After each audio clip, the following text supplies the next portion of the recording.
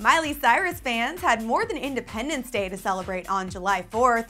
The Party in the USA singer dropped a new song on the patriotic holiday, and we have all the details. This song marks yet another collaboration between Miley and Rock Mafia. This time around, the track is titled Morning Sun. The upbeat song is perfect for summer as Miley sings, I want to be with you till the morning sun. The song is included on Rock Mafia's new EP, Mixtape Volume 1, which is available for fans to download for free online. The holiday release was just one of the highlights of the day for Miss Miley. The gorgeous gal tweeted out a photo to show off her oh so festive 4th of July style as she rocked a denim bustier top covered in blue sequins and gold tassels.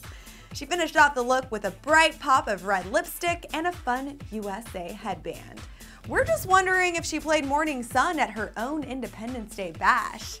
If you want to take a listen to the song, click the link below because we have you covered over at clevvertv.com.